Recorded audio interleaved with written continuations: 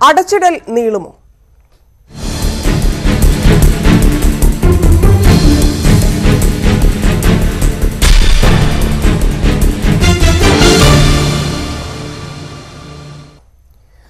Covid രൂക്ഷമായി ബാധിച്ച പ്രദേശങ്ങളിൽ ലോക്ഡൌൺ കർശനമായി പാലിക്കണമെന്ന് സംസ്ഥാനങ്ങൾക്ക് പ്രധാനമന്ത്രിയുടെ നിർദ്ദേശം. കോവിഡിനെതിരായ പോരാട്ടം തുടരുന്നതിനൊപ്പം സാമ്പത്തിക മേഖലയ്ക്കും പ്രാധാന്യം നൽകേണ്ടതുണ്ടെന്നും മുഖ്യമന്ത്രിമാരുമായുള്ള വീഡിയോ കോൺഫറൻസിൽ പ്രധാനമന്ത്രി പറഞ്ഞു. മുഖ്യമന്ത്രി പിണറായി വിജയൻ യോഗത്തിൽ പങ്കെടുത്തില്ല. ലോക്ഡൌൺ കൊണ്ട് ആയിരക്കണക്കിന് ജീവനുകൾ രക്ഷിക്കാനായെന്ന് മുഖ്യമന്ത്രിമാരുമായുള്ള വീഡിയോ കോൺഫറൻസിൽ പ്രധാനമന്ത്രി പറഞ്ഞു. കോവിഡിന്റെ ആഘാതം മാസങ്ങളോളം നിലനിൽക്കുമെന്നതിനാൽ ജാഗ്രത തുടരണം. ഹോട്ട്സ്പോട്ടുകളിൽ കേന്ദ്ര മാർഗനിർദ്ദേശങ്ങൾ കൃത്യമായി പാലിക്കണം.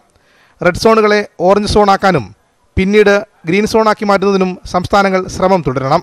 കോവിഡിനെതിരായ പോരാട്ടം തുടരുന്നതിനൊപ്പം സാമ്പത്തിക മേഖലയ്ക്കും പ്രാധാന്യം നൽകേണ്ടതുണ്ടെന്നും പ്രധാനമന്ത്രി പറഞ്ഞു. ഒഡീഷ ഗുജറാത്ത് ബീഹാർ മേഘാലയ അടക്കം ഒൻപത് മുഖ്യമന്ത്രിമാർക്കാണ് സംസാരിക്കാൻ അവസരമുണ്ടായിരുന്നത്. ലോക്ക്ഡൌൺ നീട്ടിയാലും ഗ്രീൻ സോണുകളിൽ ഇളവ് നൽകണമെന്ന് ഭൂരിപക്ഷം സംസ്ഥാനങ്ങളും ആവശ്യപ്പെട്ടു. സാമ്പത്തിക മേഖലയിലെ പ്രവർത്തനങ്ങൾ അനുവദിക്കണമെന്ന നിർദ്ദേശങ്ങളും സംസ്ഥാനങ്ങൾ മുന്നോട്ട് വെച്ചു.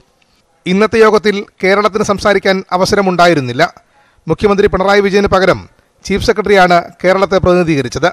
National desk news eighteen. മുഖ്യമന്ത്രിയുടെ വാർത്താ സമ്മേളനം അല്പസമയത്തിനകം തുട- തുടങ്ങും. വിവരങ്ങളുമായി വി വി അരുൺ ചേരുന്നു. അരുൺ അല്പസമയം മാത്രമേ ഉള്ളൂ വാർത്താ സമ്മേളനം തുടരാൻ. തുടങ്ങുന്ന സമയത്ത് തന്നെ ഇന്ന് എത്ര പേഷ്യൻസ് പോസിറ്റീവായി എന്നൊക്കെയുള്ള കാര്യങ്ങൾ പറയുമായിരിക്കും. മറ്റെന്ത് കാര്യമായിരിക്കും മുഖ്യമായിട്ടും ഇന്ന് മുഖ്യമന്ത്രി പറയാനോ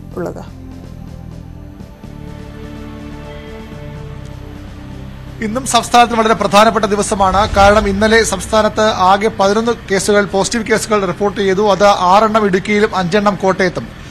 ഈ രണ്ട് ജില്ലകളിലും സ്ഥിതിഗതികൾ വലിയ പ്രശ്നമായി മാറുകയാണ് രൂക്ഷമായി മാറുകയാണ്. പ്രത്യേകിച്ചും കോട്ടയത്ത് ആ, ഇത് സാഹ- സാഹചര്യങ്ങൾ രണ്ടു മൂന്ന് ദിവസമായി സംസ്ഥാനത്തിന് വലിയ തലവേദനയായി മാറുന്നു. അതുകൊണ്ട് തന്നെ ഇന്നത്തെ ദിവസവും വളരെ പ്രധാനമാണ് സംസ്ഥാനത്തിന് അത് രോഗബാധ സംബന്ധിച്ച വിഷയത്തിൽ. മറ്റൊന്ന് ഇന്ന് പ്രധാനമന്ത്രി മുഖ്യമന്ത്രിമാരുമായുള്ള വീഡിയോ കോൺഫറൻസ് ഉണ്ടായിരുന്നു. മുഖ്യമന്ത്രി പങ്കെടുത്തില്ലെങ്കിലും സംസ്ഥാനത്തിന്റെ സംസ്ഥാനങ്ങളുടെ പ്രതീക്ഷയോടെ കാത്തിരിക്കുന്ന സംഭവങ്ങളുണ്ട്. അതിൽ ഏറ്റവും പ്രധാനം പ്രവാസികളുടെ മട- മടങ്ങിവരവാണ്. അതിന് വേണ്ട നടപടികൾ സ്വീകരിക്കാൻ നേതൃത്വത്തിന് സംസ്ഥാനത്തിന് കേന്ദ്രം നിർദ്ദേശം നൽകിയിരുന്നു. അതിന്റെ അടിസ്ഥാനത്തിൽ സംസ്ഥാന സർക്കാർ നടപടികൾ പൂർത്തിയാക്കി എന്തെല്ലാം നടപടികളാണ് സ്വീകരിച്ചിട്ടുള്ളത് എന്തൊക്കെയാണ് നമ്മുടെ പ്രധാന പദ്ധതികൾ എന്ന കാര്യം കേന്ദ്രത്തെ അറിയിച്ചിരുന്നു. അതിന്റെ അടിസ്ഥാനത്തിൽ കേന്ദ്രത്തിൽ കൃത്യമായ നിർദ്ദേശമുണ്ടാകും. കൂടുതൽ സഹായവും അവിടെ നിന്ന് സംസ്ഥാനം പ്രതീക്ഷിക്കുന്നുണ്ട്. അത് അധികം വൈകാതെ പ്രവാസികളെ ഇവിടേക്ക് മടക്കിക്കൊണ്ടുവരാനാണ് സംസ്ഥാനം ആഗ്രഹിക്കുന്നത്. അതിനുവേണ്ട എല്ലാ തയ്യാറെടുപ്പുകളും സംസ്ഥാനം പൂർത്തിയായി കഴിഞ്ഞു അവരെ കൊണ്ടുവന്നാൽ ക്വാറന്റൈൻ ചെയ്യേണ്ട സ്ഥലങ്ങൾ പരിശോധനയ്ക്ക് വേണ്ട സംവിധാനങ്ങൾ ഒക്കെ സംസ്ഥാനം ഏർപ്പെടുത്തി കഴിഞ്ഞു. കേന്ദ്രത്തിൽ കേന്ദ്രം പ്രത്യേക വിമാ- വിമാനങ്ങൾ അയച്ച് പ്രവാസികളെ മടക്കിക്കൊണ്ടുവരണമെന്നാണ് സംസ്ഥാനം ആഗ്രഹിക്കുന്നത്. അതിന്റെ ഭാഗമായുള്ള നോർക്കയുടെ രജിസ്ട്രേഷനും ഓൺലൈൻ രജിസ്ട്രേഷനും ആരംഭിച്ചു കഴിഞ്ഞു. ഒന്നര ലക്ഷത്തിലധികം പേര് ഇന്ന് ഉച്ചയോടുകൂടി തന്നെ വിവിധ രാജ്യങ്ങളിൽ നിന്ന് സംസ്ഥാനത്തേക്ക് വരാൻ വേണ്ടി രജിസ്റ്റർ ചെയ്തിട്ടുമുണ്ട്. യു എയിൽ നിന്നാണ് ഗൾഫ് രാജ്യങ്ങളിൽ നിന്നാണ് ഏറ്റവും അധികം പ്രവാസികൾ സംസ്ഥാനത്തേക്ക് വരാൻ അതെ അരുൺ മറ്റൊരു കാര്യം ഇന്നിപ്പോ പ്രധാനമന്ത്രി മുഖ്യമന്ത്രിമാരുമായി സംസാരിച്ചിരിക്കുന്നു. വിവിധ സംസ്ഥാനങ്ങൾ ലോക്ഡൌൺ നീട്ടുന്ന കാര്യത്തിൽ അഭിപ്രായം അറിയിച്ചിട്ടുണ്ട്. കേരളത്തിന്റെ കാര്യം എങ്ങനെയായിരിക്കും? മുഖ്യമന്ത്രി ഇന്ന് ലോക്ഡൌൺ നീട്ടുന്ന കാര്യത്തെക്കുറിച്ചൊക്കെ സംസാരിക്കാനുള്ള സാധ്യതയുണ്ടോ?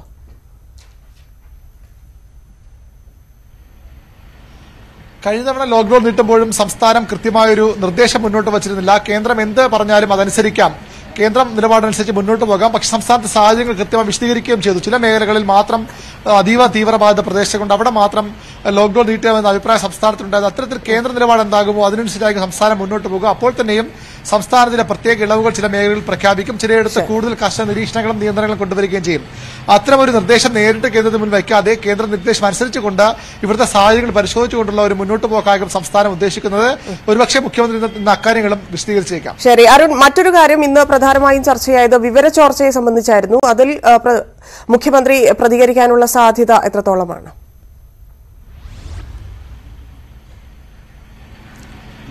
പ്രധാനപ്പെട്ട എല്ലാ കാര്യങ്ങളെക്കുറിച്ചും മുഖ്യമന്ത്രി പ്രതികരണം പ്രതീക്ഷിക്കുന്നു. വിവരച്ചോർച്ച അടക്കമുള്ള കാര്യങ്ങളിൽ അദ്ദേഹത്തിന്റെ പ്രതികരണം വരേണ്ടതുണ്ട്. മറ്റൊന്ന് സംസ്ഥാനത്തെ പരിശോധന രീതി സംബന്ധിച്ചാണ് റാപ്പിഡ് പരിശോധനയ്ക്കുള്ള കിറ്റുകൾ ഇതുവരെയും ലഭ്യമായിട്ടില്ല. സംസ്ഥാനത്ത് പരിശോധന കുറവാണെന്ന വിമർശനമുണ്ട്.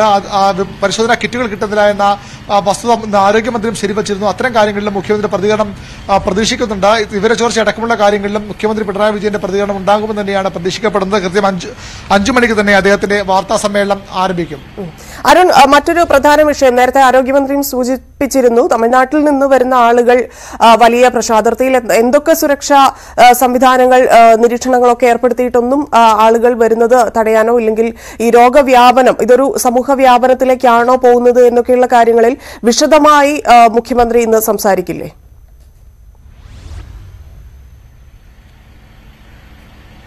ധനിയ ലോക്ഡൌൺ തമിഴ്നാട് കർശനമാക്കിയതിനെ തുടർന്ന് സംസ്ഥാനത്ത് നിന്ന് തമിഴ്നാട്ടിലേക്കുള്ള വാഹനങ്ങൾ അവിടെ നിന്ന് തിരിച്ചുള്ള വാഹനങ്ങളൊക്കെ കർശനമായി തടയാൻ കഴിഞ്ഞ ദിവസം മുഖ്യമന്ത്രി നിർദ്ദേശം നൽകിയിരുന്നു. അതിർത്തിയിൽ ചൊവ്വാഴ്ച വരെ നാളെ വരെ ഇത്തരത്തിൽ ഒരു വാഹനവും കടത്തിവിടില്ല. അടിയന്തര പ്രാധാന്യമുള്ള ആംബുലൻസ് ഉൾപ്പെടെയുള്ള മെഡിക്കൽ സംവിധാനങ്ങൾ മാത്രമേ അതിർത്തി കടന്നു പോകാൻ പാടുള്ള നിർദ്ദേശം നൽകിയിട്ടുണ്ട്. അതിന് പുറമെയാണ് പ്രധാന പാതകളിലുള്ള അല്ലാതെ കാട്ടുപാതകളുടെയും ഊടുവഴികളുടെയും ഒക്കെ തന്നെ നിരവധി പേർ സംസ്ഥാനത്തേക്ക്. അത് കേരള കർണാടക തമിഴ്നാട് കർണാടക അതിർത്തികളിൽ അത്തരം ഒരു ഭീഷണി സംസ്ഥാനം നേരിടുന്നുണ്ട്. അതിർത്തി പങ്കിടുന്ന ജില്ലകളിലൊക്കെ അത്തരം ഭീഷണിയുണ്ട്. അവിടെയൊക്കെ കർശനമായ പോലീസ് പരിശോധനയും പട്രോളിംഗും നടക്കുന്നെങ്കിൽ കൂടിയും പലയിടത്തും നിരവധി പേർ അവിടെ നിന്ന് ഇങ്ങോട്ടേക്ക് പോലീസിന്റെയും മറ്റ് സംവിധാനങ്ങളുടെയും കണ്ണുവെട്ടിച്ച് വരുന്നുണ്ട്. ഇടുക്കിയിലടക്കം അത്തരം പ്രശ്നങ്ങൾ രൂക്ഷവുമാണ്.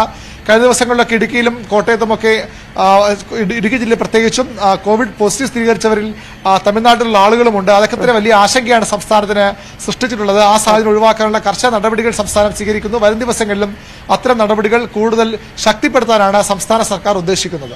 അരുൺ മറ്റൊരു കാര്യം മെനഞ്ഞാത്ത അവസ്ഥയായിരുന്നില്ല ഇന്നലെ ഉണ്ടായത്. കാരണം ഇന്നലെ പതിനൊന്ന് പേർക്ക്